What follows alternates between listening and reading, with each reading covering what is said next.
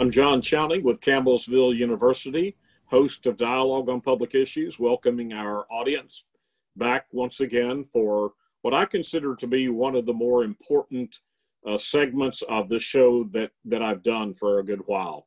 2020 has been a very challenging year. We've come through the holidays of Thanksgiving and Christmas, moving toward the new year in the midst of COVID uh, pandemic and still dealing with that, even though light is at the end of the tu- tunnel with the vaccines coming. But uh, I'm very pleased today to be interviewing a gentleman who may have some very good words of hope and encouragement, Dr. Scott Wigginton. Dr. Wigginton, welcome. Dr. Chowning, thank you. It's always a pleasure to be with you and always look forward to the conversation.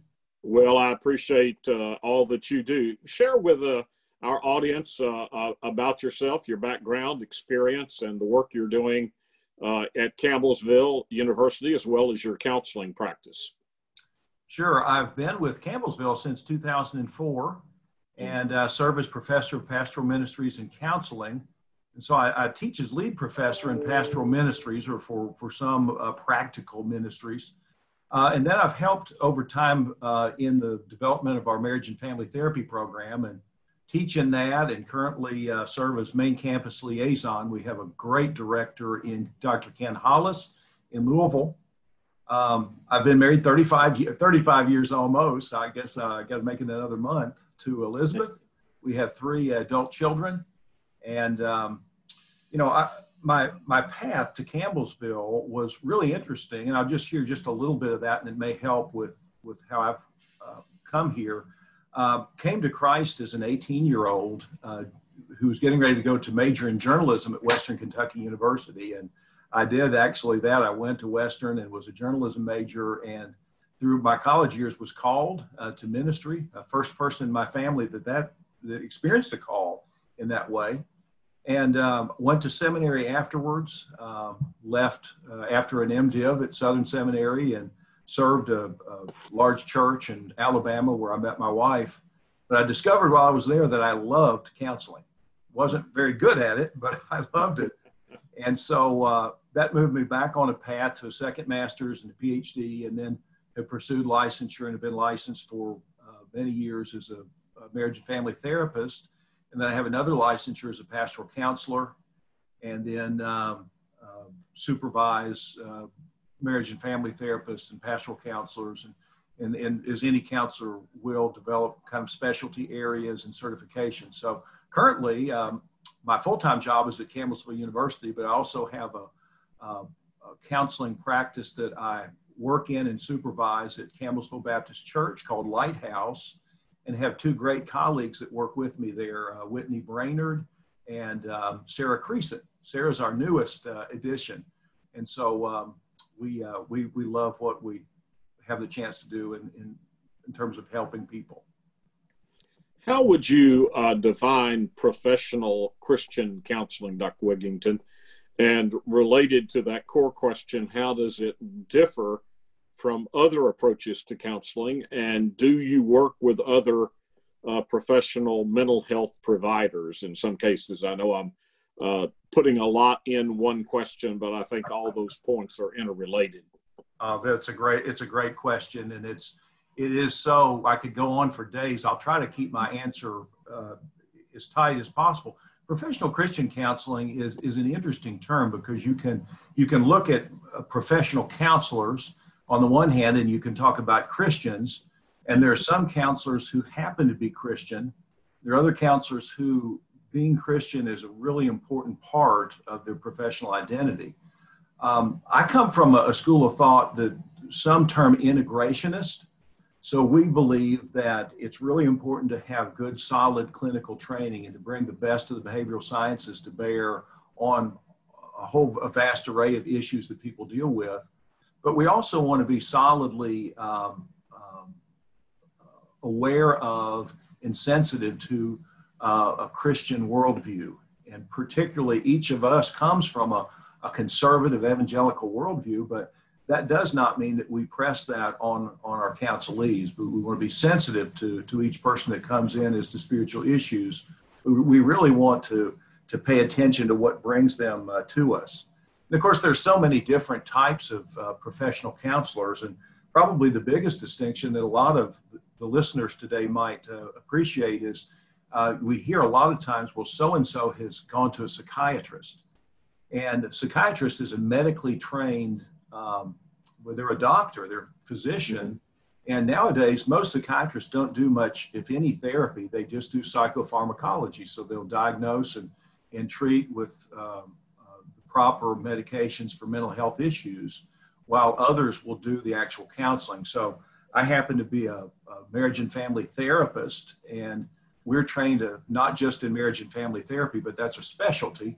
But we also work across an array of different uh, concerns, anywhere from depression to anxiety to obsessive compulsive disorder to spiritual issues, just about anything you can think of.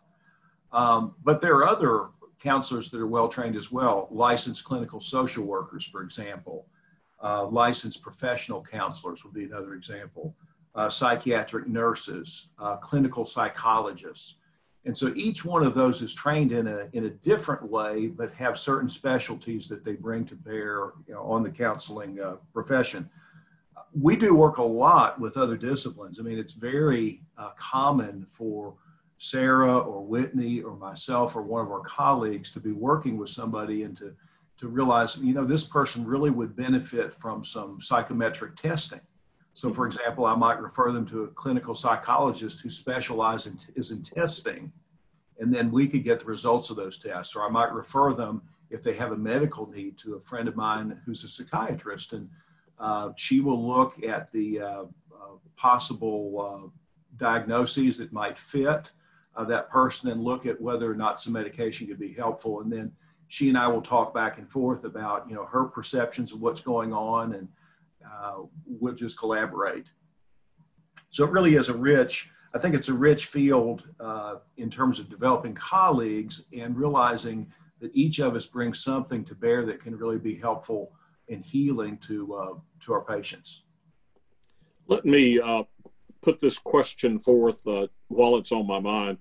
Dr. Wigginton, if there's anyone watching our show uh, uh, and and and listen or listening uh, on WLCU radio that feels like they need help and would be interested, uh, for example, in having counseling through Lighthouse Counseling, how how can they reach you or your colleagues? Well, the easiest way to, to reach us would be to call, and I, I can give you the number here, and and perhaps we can post it on the screen as well. It's 270 465 8115, extension 216. Uh, I also give my personal cell phone. If you if you can't get through to that number, it's uh, right now it's the holidays and sometimes it's hard to, to get through that number. My personal number is 270-572-1411. And they can call and you can leave a secure voicemail. Uh, at the first number I gave you, or certainly my cell phone's got a secure voicemail and I'll return your call, um, talk with you about what's going on, and determine who would be the best person to see you. Uh, and then, even do you have a preference for a male or a female counselor? And some of that uh, would have to do with uh, what certain person specialties are. You know, we tend right. to be some of us better at certain things than others. So, uh, would be certainly glad to return any calls and, and, and to work with with our listeners. Very good. Thank you. Now, 2020, as I said in my opening remarks, has certainly been a challenging year on many levels. Uh, certainly, the most profound impact has been that of the COVID 19 pandemic. Mm. Uh, what uh, general impacts have you observed uh, in, in your practice of counseling resulting from uh, the pandemic? Well, I mean, we've seen, you know, just certainly there's been so much um, isolation, um, mm-hmm. loneliness, probably the, the biggest thing that we hear uh, is how isolated people are and how that isolation and even an overabundance of bad news, uh, overexposure to bad news this year has resulted in, in greatly increased anxiety and depression. In fact, people who probably never would have dealt at a clinical level with depression or anxiety, it was just latent. And then uh, the combination, I think, of COVID, uh, certainly of some of the, the massive uh, political divisions in our country, the racial tension, in our country. All of those things has served to kind of exacerbate um, anybody that would be a little bit anxious or depressed, especially if they're if they're overexposed to to news media, uh, can really struggle. Um, and I think you know I'll see things like uh, a lot of people that are saying, you know, but I don't sleep very well anymore. Mm. Uh, I, I really find myself, I'm not going to work. I find myself uh, worrying a lot more. I've never thought of myself as a worrier, but yet you've got individuals who now feel feel stuck on some of these topics. You, have touched on this, but look to probe a little more on mental health or emotional health. How has COVID impacted the general mental health of people, and has the fear uh, the actual fear of contacting the disease impacted uh, people? It, it really has. Back in May, the U.S. Census Bureau reported that about a third of Americans were showing increased signs, reporting that they showed increased signs of clinical depression and anxiety. And people deal with, with that differently. I know one uh, person has written an article that's talked about one form that coping has taken in what he terms the porndemic. Uh, Covenant Eyes, the, the, really the world's leader in internet filtering, reports that 64% of Christian men and 15% of Christian women say that they view porn at least once a month. And uh, at least one of three visitors to an adult porn site is female. And the younger generation reports it's almost even now between um, between men and women in terms of viewing uh, porn sites. So during the pandemic, the dangerous porndemic has actually exploded. And uh, Pornhub, the world's largest free pornography site, reports just astronomical growth in daily visits as people worldwide use that as a way to cope with stress and isolation and additional free time. And so I think that's one, just one way that people have coped with anxiety and with depression. I think it's really interesting the way we think about it, Dr. Chowning, sets us up either to be healthier or to struggle. Uh, for example, early on, the reported death rate from COVID was uh, four in 100. And we know that that was based on few documented cases. It was, uh, it was a very limited um, testing with pr- pretty um, outrageous claims in terms of a high death rate. Now, after a lot more testing, I- independent tests are confirming that the death rate among the general population is more like two in 1,000, and even less with children, and of course, more with population over 70. But the average age of death from COVID is right at 77 years old. Unfortunately, I don't know that that message has gotten out. And I think what's people are so driven by uh, the anxiety that they tend to hear the old messages that may not be based on uh, on accurate information. And and our treatments, I might add, uh, for COVID are lot, uh, much improved.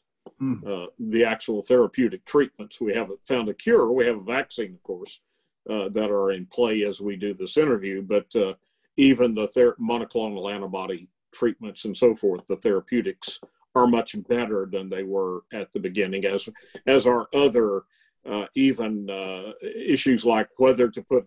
And I'm I'm obviously not a medical doctor or a uh, an intensive care specialist, but whether or not to put a patient on uh, a, uh, a, a machine or or not uh, in terms of when they're having uh, breathing issues and respiratory problems. Those simple, the the proning the position of the body and so forth to uh, just a, a, sundry things that are much improved now uh, as compared to the beginning in, in, terms of the treatment of, of our patients.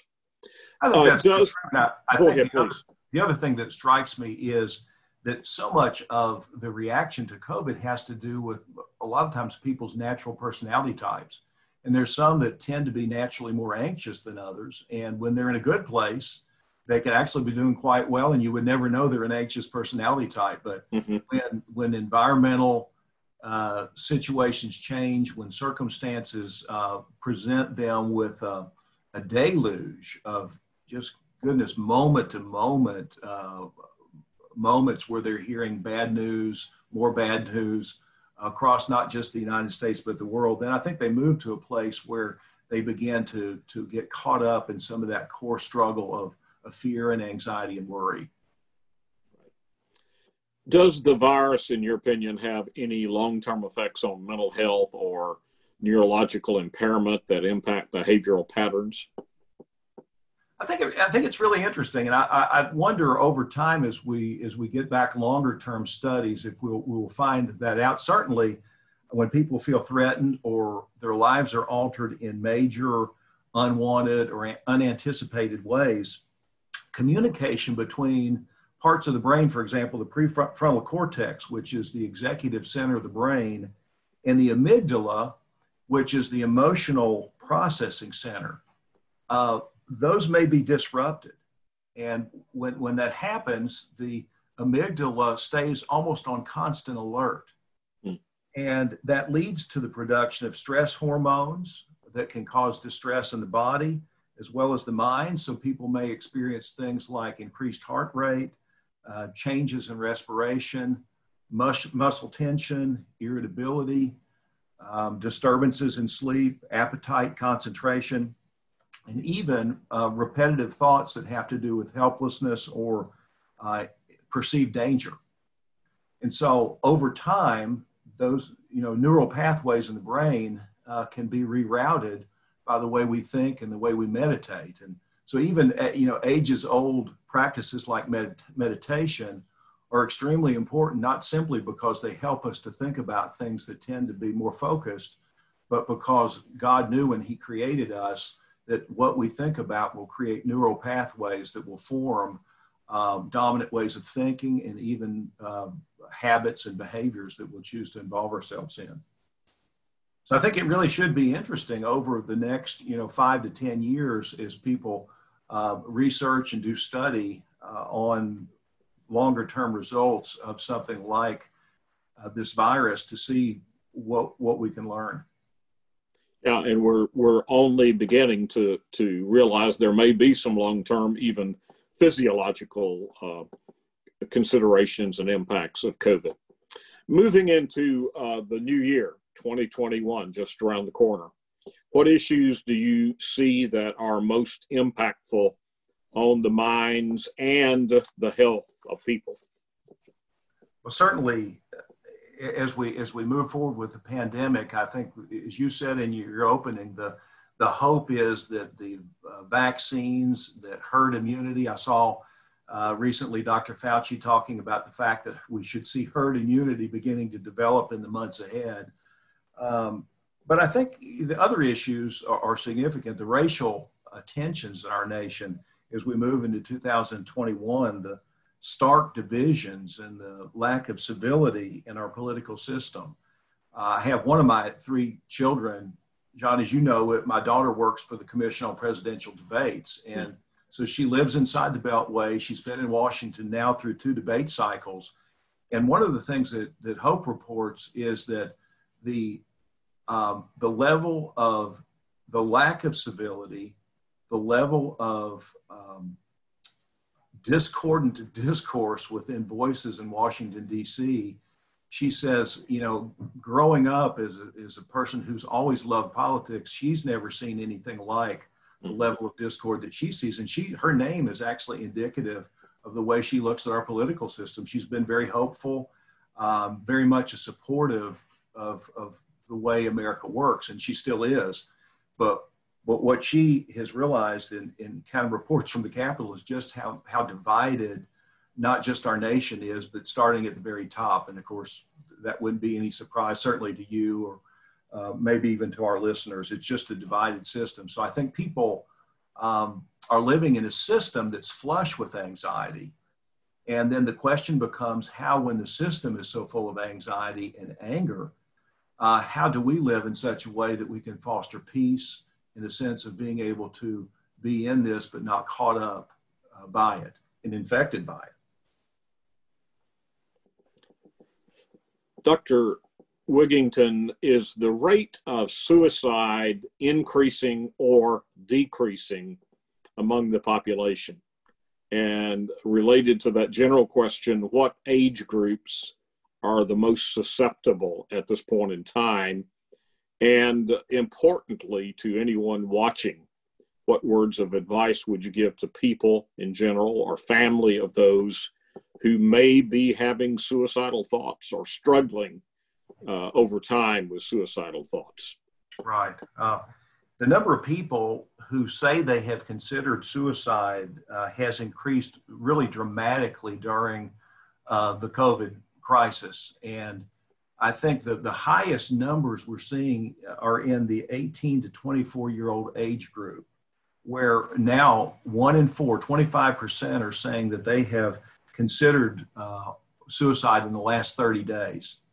Uh, we know that that's a group that there was, was already an increased risk over time. That it used to be that suicide was the third leading cause of death among 18 to 24. Now it's the second, and that was even before COVID hit. So we see that group, and of course, as a as a professor and as, as a long-term administrator at uh, Campbellsville University, you, you and I both know how uh, seriously we've had to take, and our university has taken student health, and so it's disturbing to think that that group particularly has been affected. And when you begin to ask about why, one of the things that seems to come up is that this is a population that has such a short timeline that they've lived that when something happens, they they tend to have a hard time imagining that things will change.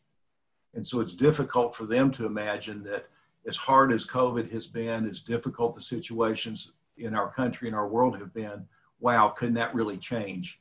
And so it leads them to feel, feel despair. The other group that's a pretty significant, uh, probably the biggest at risk group for um, suicidal thoughts and even follow through are our older adults, um, 65 year old plus adults, and particularly white males.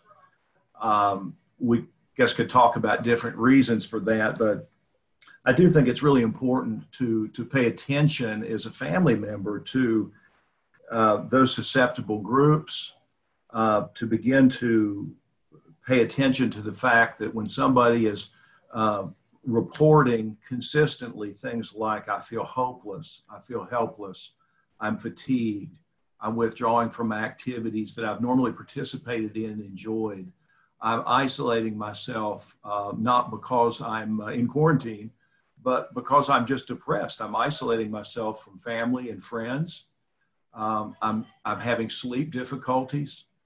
Um, when people start reporting those kinds of things as clusters, not as an isolated, you know, in, all of us deal with some of those in isolated ways. I might have a, a week where it's hard to sleep or a period of time when I'm just feeling more fatigued. But when we see those things start to cluster in five or six, and then when people begin to make comments, maybe like, you know, I just really can't imagine going on.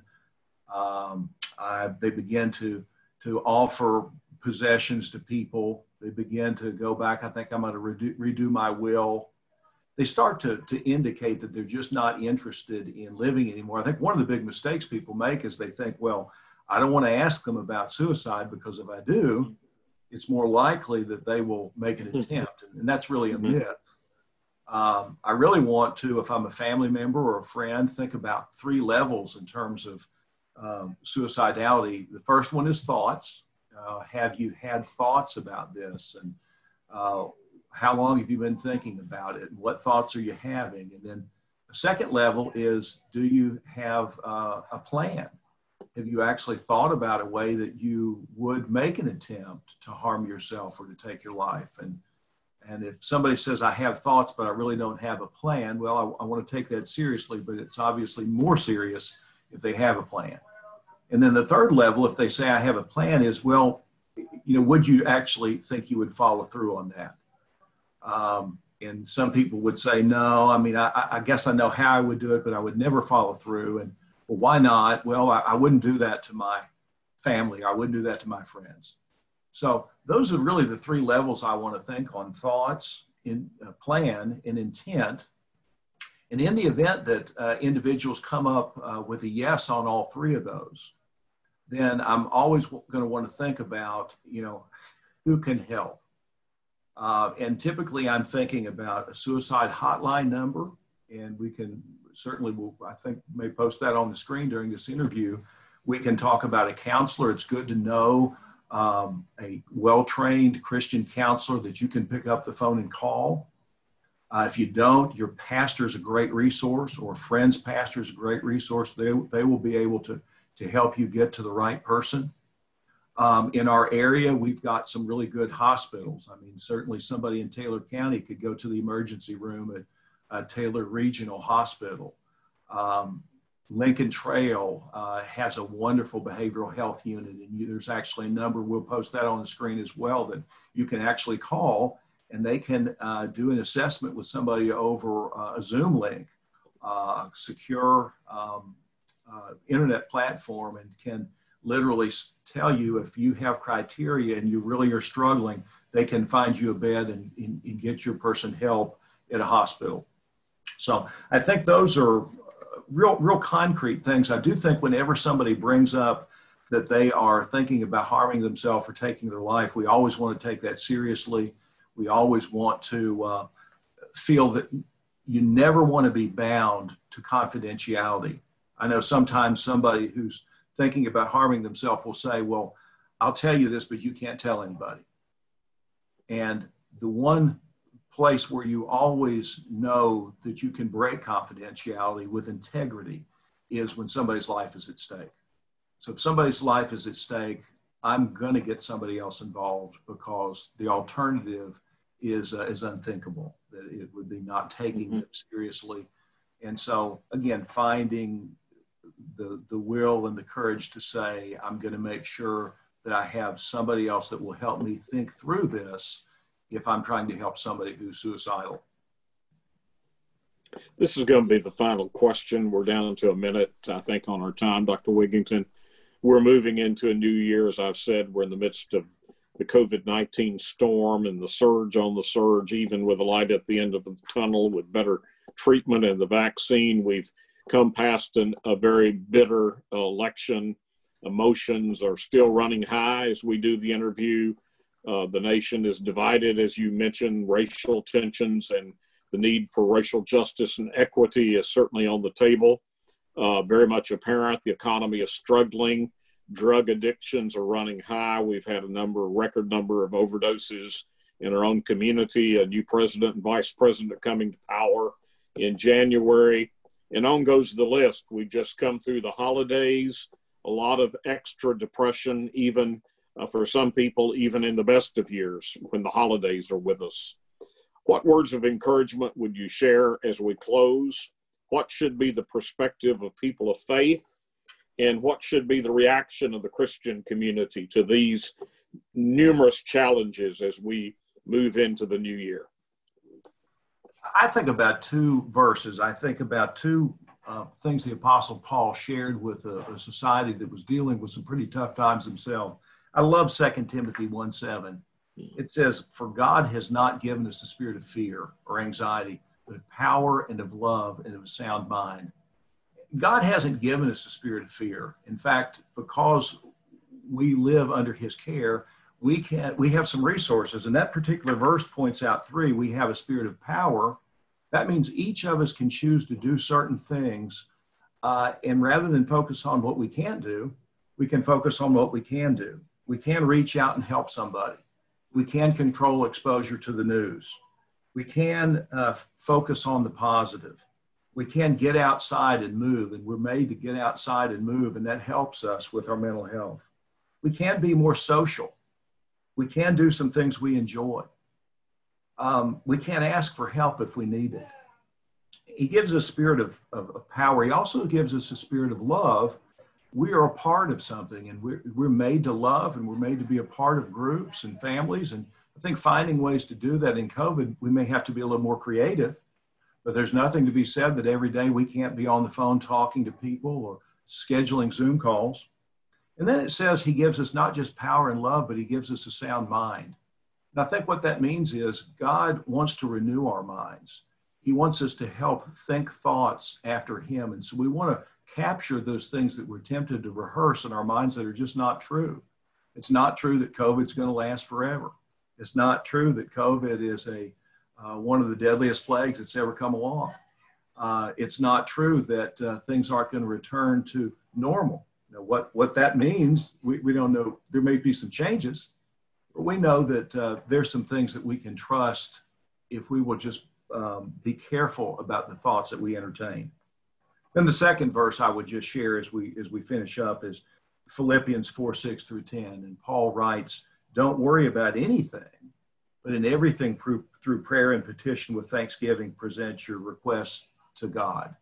So we want to substitute prayer for worry. Whenever you're worried, it's a great prompter to be one who prays. And then finally, Paul writes, Whatever is true, whatever is honorable, whatever is just, whatever is pure, whatever is lovely, whatever is commendable, if there is anything excellent and praiseworthy, dwell on these things. So, focusing and meditating on the goodness and the things I have to be thankful for, and I, will I'll glance at those other things, but I really want to gaze at the good things. Dr. Scott Wigginton, thank you so much uh, for your time and these words of counsel and these words of hope. And I think uh, we will all take them to heart and apply them as we move into 2021.